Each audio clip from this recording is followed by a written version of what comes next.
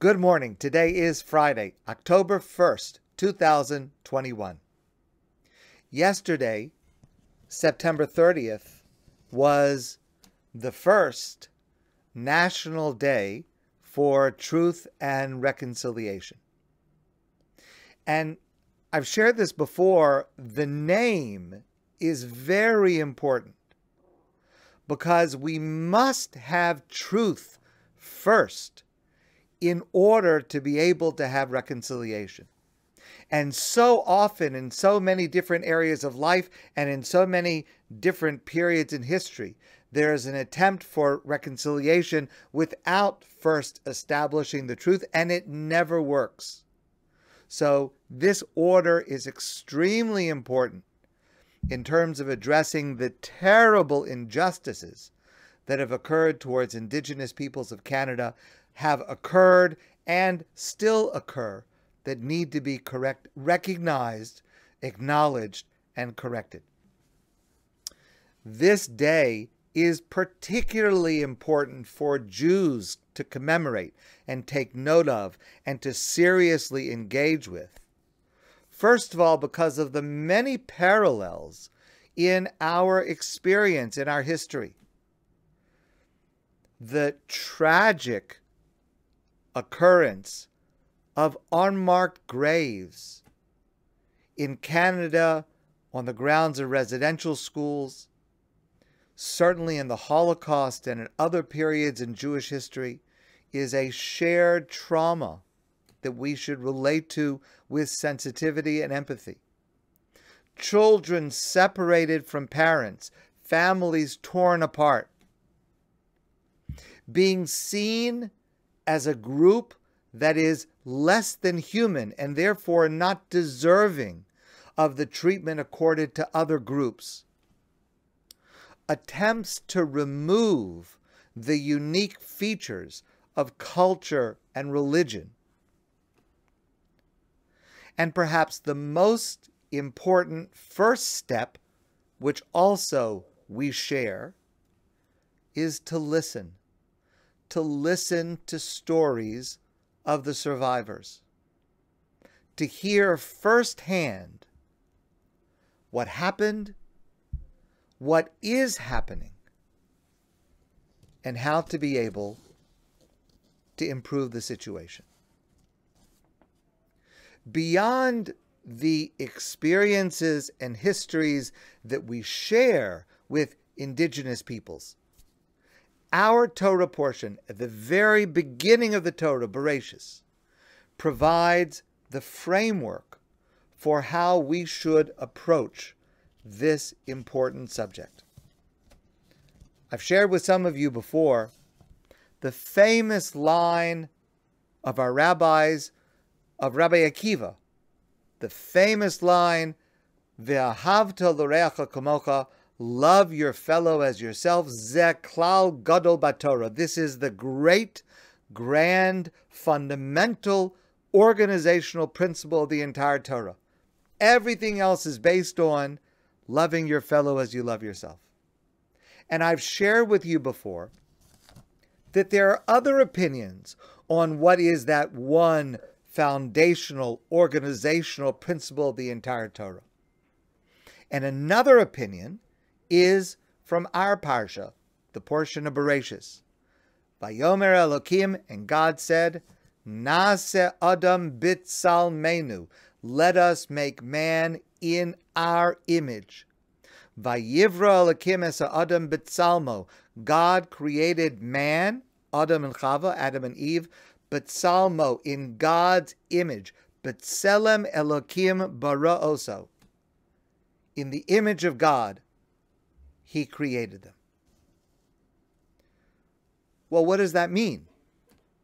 What does that mean that every single human being descended from Adam and Eve is created B'Tselem Elohim in the image of God? It can't mean that we all look like God because God has no physical appearance.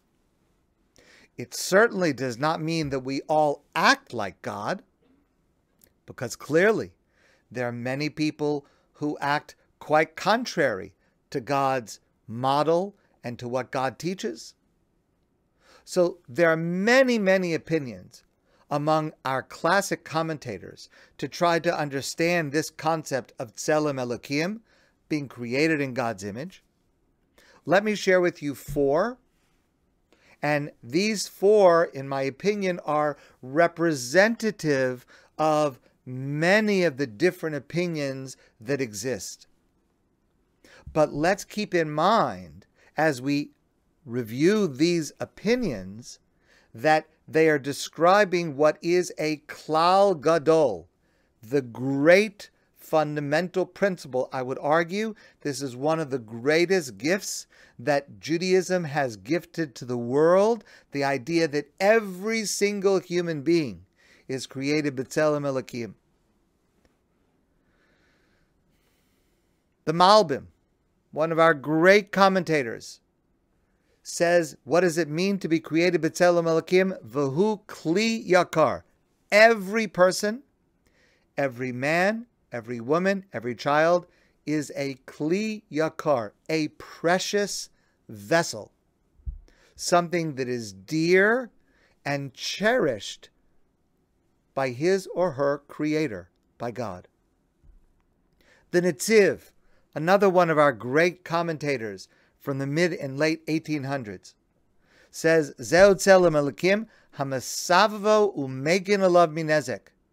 Tzelem elikim is related, tzelem related to the word tzel, shadow, meaning that every human being is surrounded by God's protective shadow. There is an element of God hovering over, connected to, every single human being. Rabbi Meir Simcha Dvinsk, who wrote the classic commentary Meshech Chochmah, explains that Tselem Elakim means Habachira HaChovshis, the ability of a human being to choose freely, Bli Teva Machriach, without necessarily being determined by their origin or upbringing, rak meratzon v'seichel chafshi. Exclusively, though, choosing through their will and their own reason. Lastly, the Sifri. She'inyan atzelam vadmusu shenasan HaKadosh Baruch Hu badam ratzon v'koach liizdamos elav. God placed within every single human being the will and the ability to change and improve to become godlike, to act morally like God. Now, as a klal gadol, as a grand, single, fundamental principle on which all of the Torah is based, it needs to be part of our behavior, part of our outlook every day. You know, we talk about living with the Parsha. Each week we read one portion of the Torah. And that week, we should be thinking about the ideas of that parsha. That's the idea behind having a weekly class in the Torah portion. And the idea is that the themes and the guidelines and the commandments that are in that parsha need to be part of our outlook. Transformative in how we see the world, how we see ourselves, and in how we act. And I think that it is entirely fitting that this week we think about Tselem Elokim, and in particular these explanations of what it means in terms of how we have fallen short towards our indigenous brothers and sisters here in Canada and in other places, and what we can do about it. Do we really look at every single human being, man, woman, and child, as being cherished by God? And if they are cherished by God, they need to be cherished by us for who they are, not who we want to make them into. To say of every human being that they are connected to God, that God is looking out for them. Well, then, how does God feel when one of us mistreats one of his children? To say that every human being has the ability to choose between right and wrong, to choose the life that they want to live. So, how can we impose an outside alien constraint on another people or on another person? And finally, that every single human being has the ability to choose to be better, to be more godlike, to change, and to improve. And we need to see that within ourselves, and we need to see that within every single human being.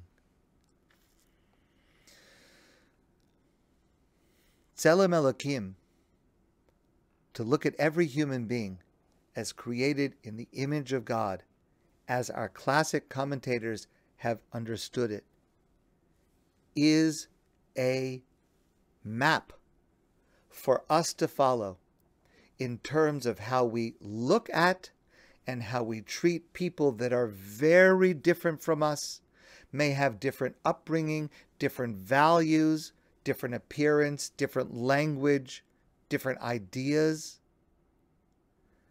And yet we have to recognize that we are all God's children and we are all entitled to dignity and we are all entitled to respect.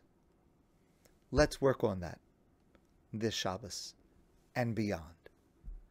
My friends, I want to wish you a great day and a wonderful Shabbos.